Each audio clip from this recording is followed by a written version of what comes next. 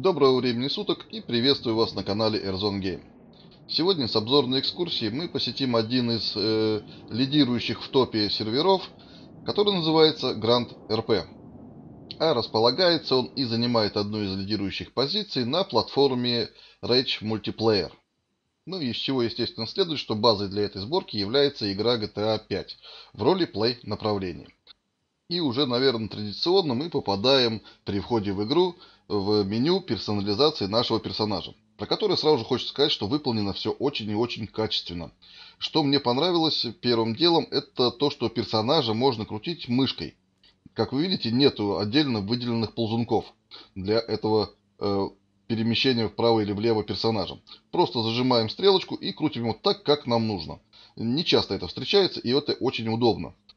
Также надо отметить, что дополнительные пункты настройки персонажа тоже очень интуитивные и даже присутствует первоначальный выбор одежды, что тоже немаловажно. Ну а далее нас встречает э, краткий обзор того, что мы увидим, зайдя на саму карту. Давайте его посмотрим. Привет! Я постараюсь объяснить тебе вкратце, как все устроено. Грант — это сервер с ролл-плей режимом игры. Это значит, что здесь все как в реальной жизни. Вы начинаете игру простым приезжим без денег в кармане. И именно вам решать, кем стать полицейским, врачом, бандитом или просто очень богатым человеком, который чтобы не жить на улице, тебе будет нужен дом. Сделать это можно в риэлторском агентстве, либо купить у других игроков. Дома есть на любой кошелек. От полуразрушенного дома в опасном районе до элитного жилья на горе Вайнвуд. Конечно, бегать по всему городу или ездить на автобусе не очень удобно, поэтому лучше купить личную машину в одном из автосалонов. Автосалоны, как и дома, для каждого свои. Если у тебя много денег, перед тобой открыты двери автосалона премиум-класса. Если денег нет, увы, придется довольствоваться транспортом бюджетного сегмента. Хочешь стать успешным человеком? Тогда тебе понадобится свой бизнес. Можешь купить свой магазинчик на АЗС, либо стать владельцем целого магазина оружия. Бизнесы есть разные, но всех их объединяет то, что за ними нужно следить, чтобы они приносили прибыль, а не становились обузой. Думаю, ты уже понял, что на дом, машину или бизнес тебе нужны деньги. Зарплаты на работах разные. С самого начала тебе доступны не особо прибыльные, но по мере игры ты будешь получать доступ к более престижным и оплачиваемым работам. Со списком работ можно ознакомиться, открыв меню на клавише М и выбрав пункт «Моя работа». Ну а если амбиции не дают покоя и хочется развиваться в большом и дружном коллективе, тебе подойдет одна из организаций. Ты можешь стать полицейским, следящим за порядком и заниматься поиском преступников. Или стать бандитом, принимая участие в захвате территории, угоне машин. Еще у нас есть семьи. Создать свою семью или присоединиться к уже существующей – решать тебе. Семьи играют важную роль в жизни сервера. Семьям доступны уникальные бизнесы, такие как плантации, коровники или нефтевышки. Также семьи могут принимать участие в различных мероприятиях, в том числе и в ограблении банка. Обращай внимание на задания, которые ты сейчас видишь. В процессе выполнения квеста для новичков тебе может попасться крутой приз. Чтобы тебе было проще, мы сделали раздел помощи в мобильном телефоне. Там ты сможешь ознакомиться с ответами на вопросы от новичков. А чтобы было совсем просто, в том же разделе в телефоне есть функция звонка помощникам, которые ответят на все вопросы. Добро пожаловать! Ну и вот, друзья, такой вот, на мой взгляд, неплохо выполненный пролог вы увидите, когда подключитесь первый раз к этому серверу. Ну и далее приступаем уже к, непосредственно к обзору. Идем получать, как и говорилось в прологе, задание. Я его беру просто для того, чтобы показать. Это делать абсолютно не обязательно. Ну, для того, чтобы просто показать, что это есть, и, в общем-то, проследовать по карте, я возьму это задание и будем следовать потихоньку по ходу пьесы э, этому заданию. Далее идем, получаем э, транспорт. И сразу же можно заметить, что любое ваше действие сопровождается э, сообщением. Сообщение выполнено очень красиво и вообще на самом деле вот первое, что э, хочется отметить, зайдя на эту карту, что очень хорошее оформление. Любые действия, будь то аренда мопеда или какая-то э, прокачка, которую вы прошли, все будет оповещаться и все выполнено очень-очень красиво. И еще одно, что хотелось бы тоже упомянуть, э, я это встречаю первый раз, здесь выключена музыка. То есть, когда вы садитесь в транспорт в GTA, да, автоматически включается радио. И я уже как-то даже задавал вопрос, если кто знает, э, напишите в комментариях, как это отключить. Так вот здесь, когда вы садитесь в любой транспорт, музыка автоматически вырубается. Я не знаю, как они это сделали, но здесь вы с этим больше не паритесь. А мне, вот как снимающему человеку ролики, это очень важно, потому что музыку YouTube банит. Да и в целом это автовключение музыки на самом деле раздражает. И непонятно, зачем это было вообще введено. И как, главное, с этим бороться, тоже непонятно. Ну, здесь это победили. Вы садитесь в транспорт, и музыка автоматически выключается. Здорово придумано. Молодцы, что так сделали. Э, дальше, как вы видите, я попал в ДТП. Э, никто меня не сбил, я сам ушатался. Хотя здесь э, сбивают людей тоже на ура. Но в данном случае я сам ушатался, поэтому никто здесь не виноват. я был удивлен, что можно вызвать скорую. Я нажал вызвать скорую, и ко мне приехал врач.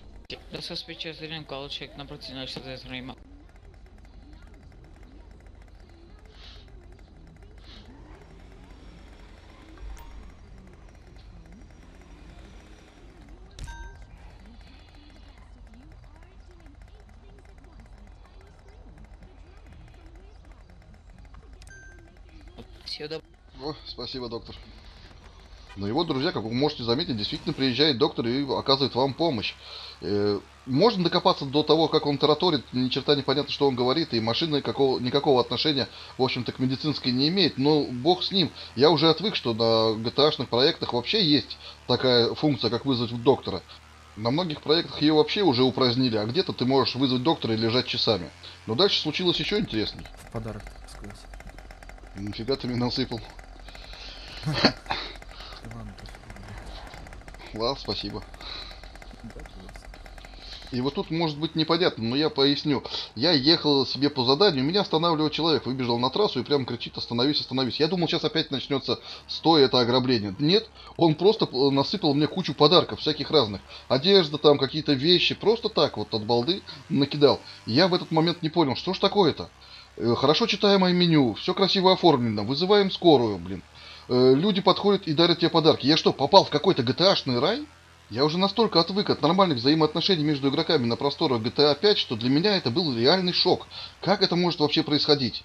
Непонятно. Ну, давайте ехать дальше. Я уверен, что найдется все-таки то, что меня э, каким-то образом все-таки огорчит. Ну и напомню, что для того, чтобы познакомиться с проектом, я взял задание еще в аэропорту. Это я сделал для того, чтобы игра сама протащила меня по каким-то ключевым и нужным точкам. И первой же такой точкой является работа для начинающих, но не только для начинающих, это работа на лесопилке.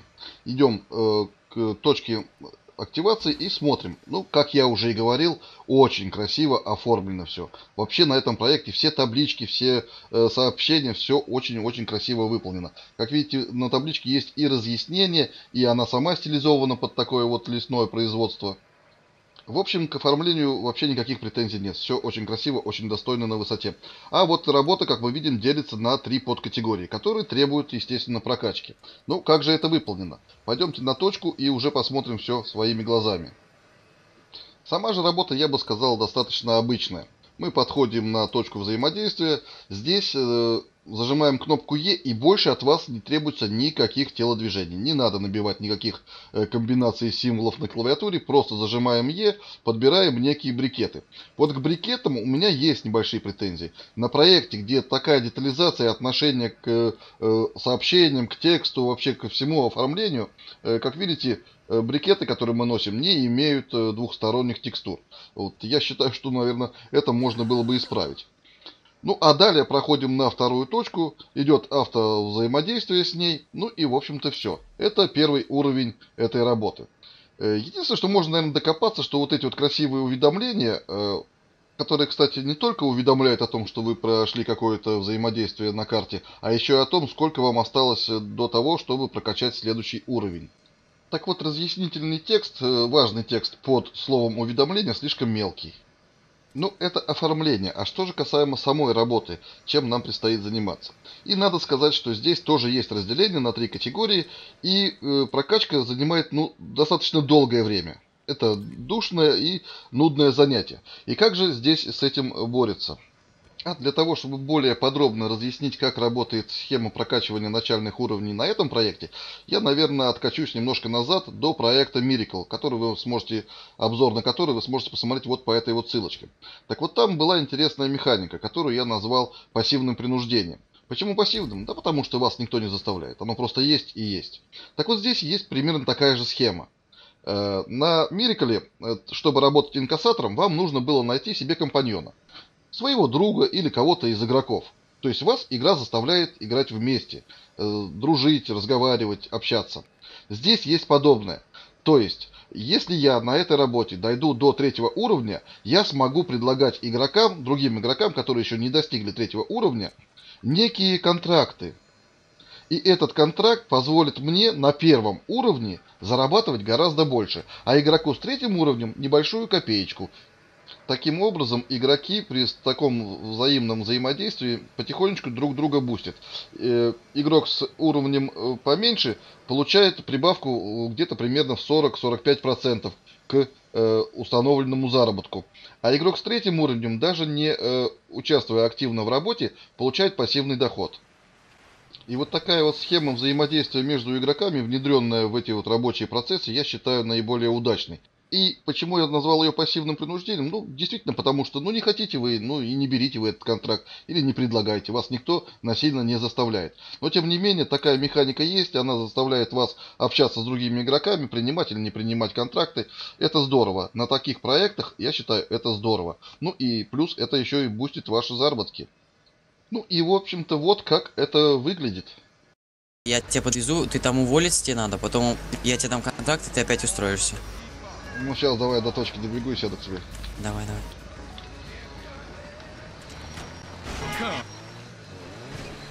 Маловато машинка-то. Нормально. И сейчас я предложу, нажимаю У сразу.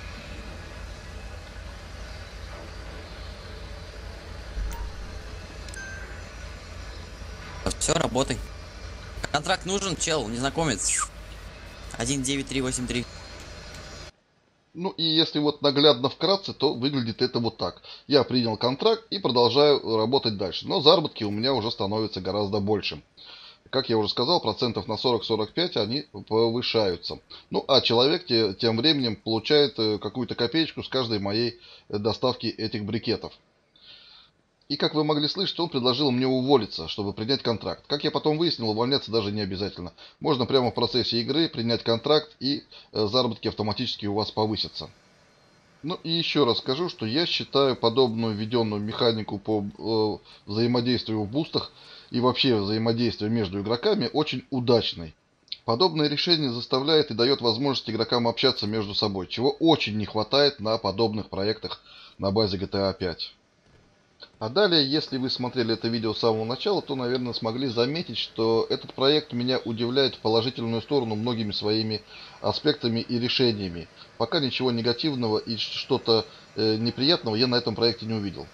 Все полученные мною эмоции и впечатления за время пребывания на этом сервере несли меня только в положительном направлении. Но давайте откатимся буквально на пару минут назад. И если вы внимательный зритель, то, наверное, заметили, что человек, который предлагал мне контракт, приехал на машине, хотя от точки увольнения до точки работы всего каких-то 15 метров. А приехал он на машине и более не выходил из нее не просто так. А все дело в глобальных, я бы сказал, трудностях с транспортом на этом проекте.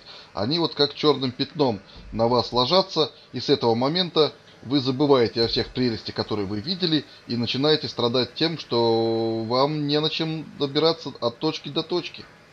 Сразу же всплывает аннотационный ролик в начале, когда вы заходите на этот проект, где за кадром автор говорит, что вам не придется бегать, вы можете воспользоваться либо общественным транспортом, либо арендованным транспортом, или купить свой собственный автомобиль.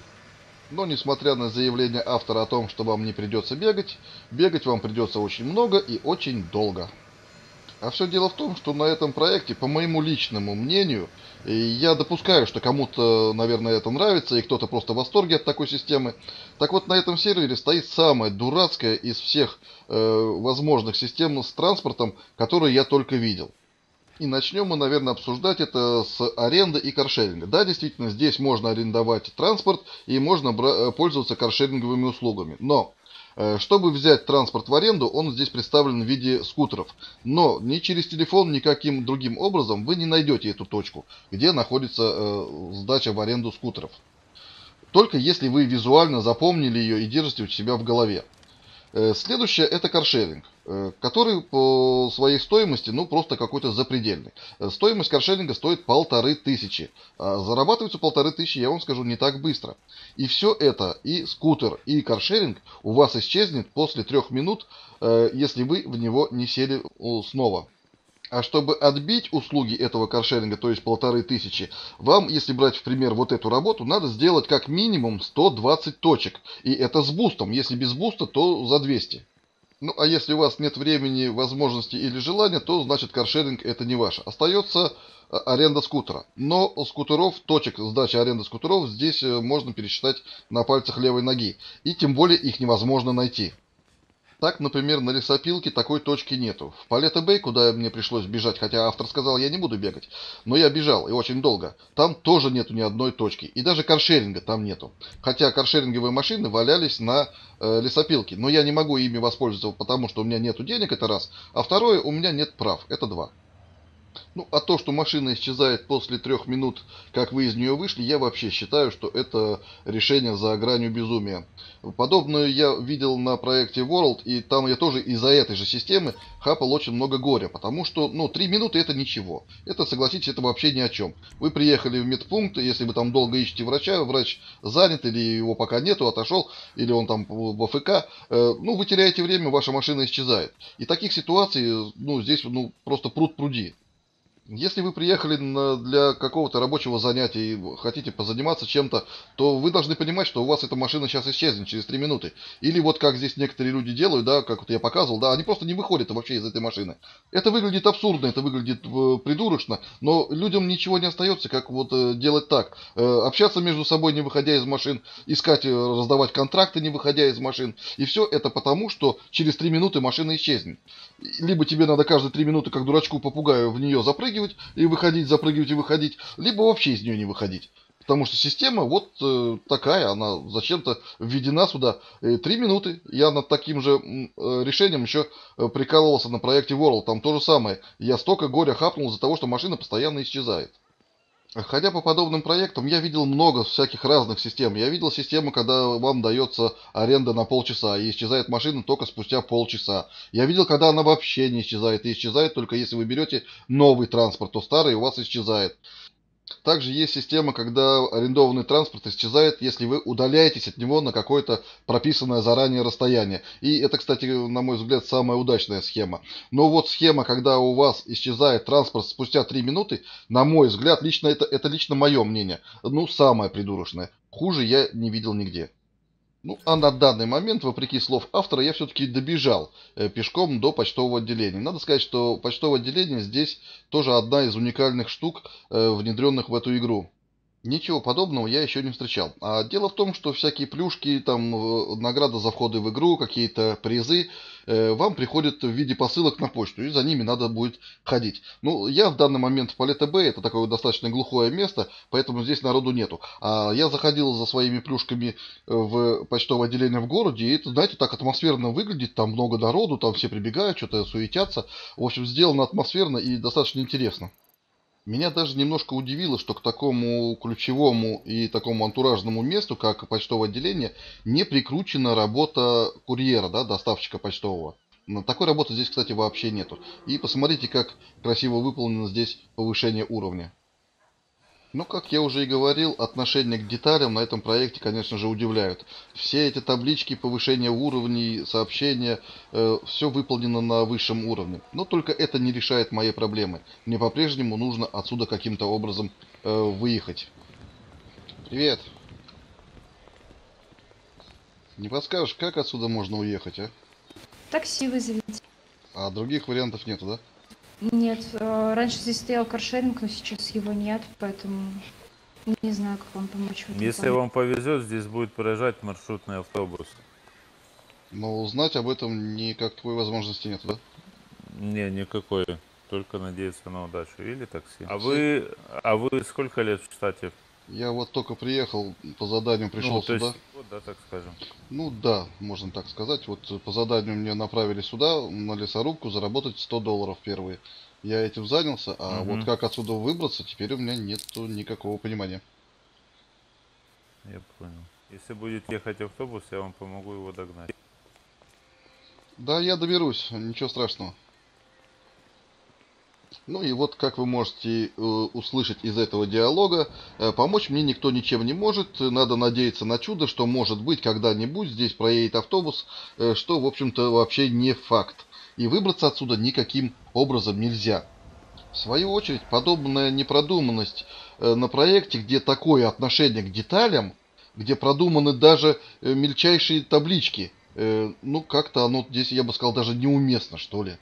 Я шел по этому шоссе, и у меня все в голове никак не укладывалось. Как же этот проект, как свежей струей, окатил меня в самом начале своими интересными, красивыми заставками, э, уникальными решениями, рабочими занятиями, э, добротой людей, которых я, кстати, здесь повстречал э, в самом начале.